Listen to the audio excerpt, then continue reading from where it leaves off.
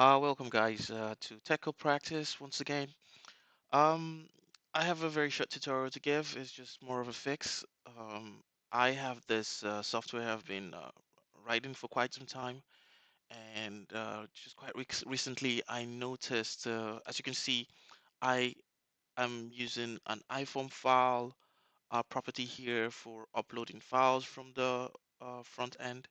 But I noticed when I went uh, and took a look at the NuGet package that supports the iForm file, it has this interesting triangle warning here. And uh, when I took a closer look, I realized that um, this package is actually deprecated.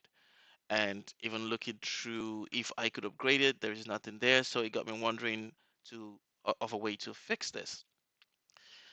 Um, now, ideally, I went online, of course, as you guys might uh, imagine, and yeah, it was for sure. It was listed as uh, packages, uh, one of the package that will be uh, deprecated or that has been deprecated.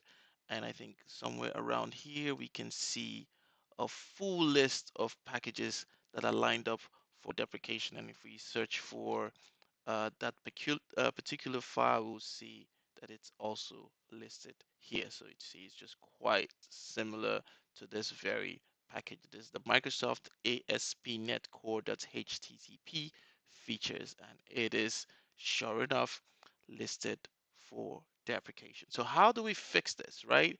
Uh, it took me a minute to figure out how to fix this, but uh, sure enough, I got around to it. So the first thing we want to do is, uh, as you guessed it, we want to get rid of this guy, this package right here.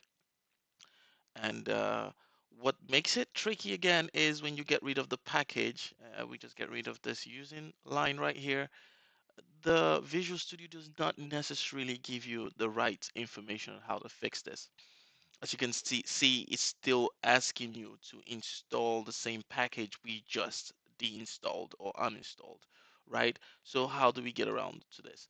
Um, yeah, after searching online, uh, doing a uh, looking uh, for a solution, I was able to find a way to fix this. Uh, so I'm hoping this video will help you as well. So how do we fix this? Uh, the first thing we want to do is, uh, first and foremost, we want to go into the the project, what would you call this, an application setting or something. that is when you double click on the on the um, project itself. So I'm just going to extend my screen a little bit here so you can see. Uh, let me see, can I do that? Uh, yes, I'm just going to make it a little bit more smaller. So if you double click on, your, on the name of your project, you should sure enough get this screen up in front of you. And uh, this is basically where you see the references to your package, references to uh, different project files. And what you want to do is you want to have this line of code in there. Uh, and we're going to do that. So I'm just going to paste, copy and paste that.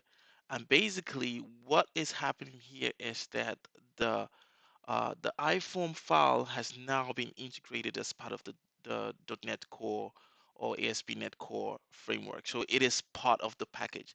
And when you add this uh, this line of code here that says framework reference include it will go ahead and pick up those packages that, uh, oh, sorry, those, uh, uh, uh, um, how would I put it? Th those interfaces and, and references to DLL classes that you are missing that has to do uh, with uh, the NuGet package we just in, uninstalled. So if we come down here now and we hover our mouse, we will see that, oh, just a minute, we still have to save this. So I'm just gonna control S and save this.